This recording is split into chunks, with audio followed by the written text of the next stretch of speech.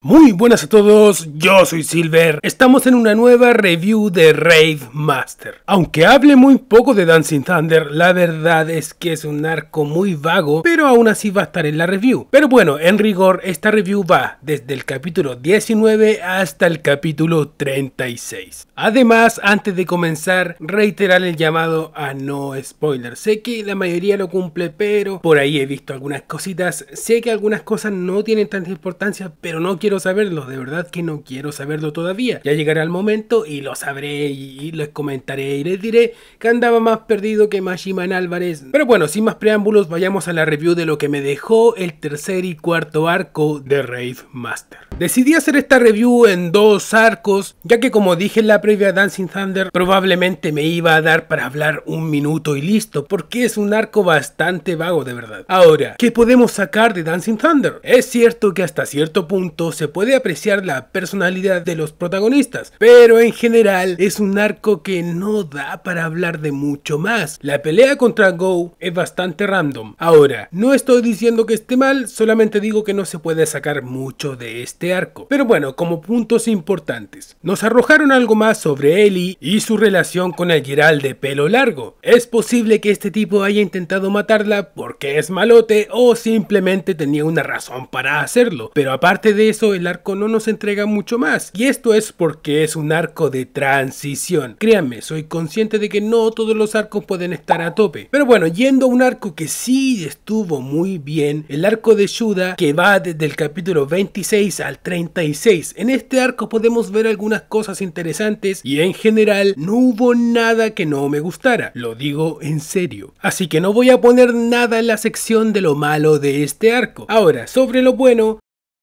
ya en este arco vi algo más sobre la personalidad de este personaje y la verdad me gustó todo lo que hizo acá. Partamos por lo que más me sorprendió. Como les dije en la review anterior, era obvio que Música se iba a unir al equipo de los protagonistas, pero les juro que no sabía que ese tipo era Música. What the fuck? Mashima me la hiciste, te lo juro, me la hiciste, lo reconozco. Porque si bien ya suponía que Schneider era un villano, es decir, era obvio, era obvio que era un villano, la verdad es que Mashima jugó muy bien la carta sobre quién era el asesino enviado por el abuelo de Dragon Joe. Que ojo, dije que este cejón era el abuelo de Dragon Joe, pero viéndolo de los últimos capítulos de Eden Zero, con la edad que tiene este Dragon cejón Joe, tranquilamente este tipo podría ser Dragon antes de convertirse en ese DJ raro. Pero bueno, volviendo a donde nos quedamos. Como dije, sabía que Schneider era un villano, era obvio, pero también pensé que este tipo que andaba camuflado era el asesino enviado por Shuda. Lo que sí reconozco que también también me causó curiosidad es que no les disparara cuando los tenía en la mira. Pero bueno, dejando eso de lado, les juro que no sabía que era música. Recién me di cuenta cuando el mismo tipo lo reveló, cuando se quitó el disfraz, pero antes de verdad que me la hizo Mashima. Ahora, dejando de lado mi lentitud mental, me gustó todo lo que hizo durante este arco. La sacudida que le da a Haru fue impecable, de verdad, porque al burlarse de lo ingenuo que es, le da a entender que el mundo no es tan simple como Haru cree. Música menciona que con que Haru se atreva a pedirle sin ningún problema que lo ayude a buscar Rave sin siquiera saber cuáles son sus verdaderas intenciones, es justamente la misma razón por la que estuvo a punto de ser asesinado por Schneider. Es decir, que no puede ser tan ingenuo y solamente suponer que las cosas son como cree, porque la realidad no es así. De hecho, esto es lo mismo que le da a entender Deerhound, el guardián de Rave, al decirle que los 50 años que pasó Shiva y las convicciones de los guerreros que murieron en la guerra sí tienen valor. Con esto le da a entender que incluso si no lo parece, todos los sueños, las convicciones y las decisiones tienen una consecuencia, ya sea una buena o una mala. El mismo hecho que Haru sea el maestro Rave es una consecuencia directa de la búsqueda de 50 años de Shiva que el mismo Haru consideró casi como algo inútil si lo hizo solo. Y en este caso que Haru estuviera a punto de ser asesinado por Schneider es la consecuencia directa de que haya creído en Schneider sin pensar ni un solo segundo en sus verdaderas intenciones. La verdad es que Música aquí se burla de él porque Haru venía saliendo de un error que quizás era trivial pero que le pudo costar la vida y estaba a punto de volver a cometer el mismo error. Y de hecho cuando conoció a Schneider, lo primero que se me vino a la mente es por qué podían confiar tan rápido en él. De verdad me gustó todo lo de música en este arco.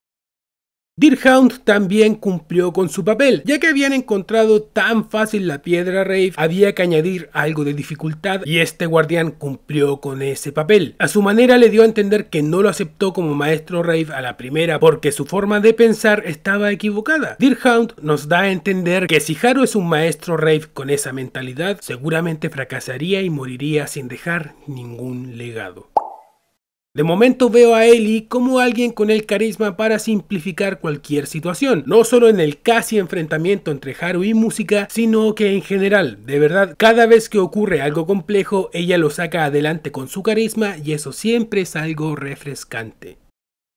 Bueno, los errores que pueda tener Haru son propios de una persona que nunca salió de su burbuja en la isla. Recién ahora está conociendo el mundo y mientras que en la isla Garage, como mucho había, no sé, uno o dos delincuentes, el mundo está lleno de gente de todo tipo. Su pelea contra Yuda estuvo muy bien, creo que a pesar de que Yuda terminara como terminó, la verdad es que queda claro que Haru no lo derrotó por ser más fuerte que él, porque de hecho no lo era, sino porque fue capaz de apegarse a sus convicciones a pesar de que todo podía ser parecido ser que estaba equivocado. Al final sabía que iba a intentar salvar a Yuda porque Haru es en realidad un tipo bastante normal. Porque una cosa es que quiera derrotar a su enemigo y otra cosa es que quiera que esa persona muera. Y Haru de momento ha demostrado que no es así. Yuda es un buen personaje. En la primera review les dije que no me convencía que dejara vivo a Haru en vez de matarlo. Pero aquí más o menos nos explican por qué tenía sueños húmedos con él. Porque sí, durante este arco empecé a dudar seriamente sobre sus preferencias. Pero bueno, es cierto que quizás pueda llegar a ser exagerada esa obsesión que tenía por Gail. Pero lo que haya pasado entre los dos debió ser muy fuerte para volverlo loquito. Y esto es tanto que una vez que se vio amenazado, la fortaleza mental de la que él tanto se se empezó a desmoronar completamente por el miedo a fracasar. Al final decide que no tiene salvación ya que puede ver que Haru es una buena persona y es una persona fiel a sus convicciones, mientras que él no pudo mantener las suyas y sucumbió ante el fracaso de no poder seguir a Gale para bien o para mal. Conclusiones. No creo que Shuda esté muerto. De verdad pienso que sigue vivo ya que nos tiene que contar qué pasó entre él y Gale. Ahora, cuando vuelva probablemente no va a ser el mismo, ya que el prota lo evangelizó, así que probablemente ya no sea tan malo y cejón. Bueno, eso último es más complicado. Ahora, en cuanto a si estoy de acuerdo o no con que este tipo se vuelva bueno, no sé, me voy a guardar esa opinión para alguna review que le haga al personaje, pero de verdad no me esperaba esto, o sea...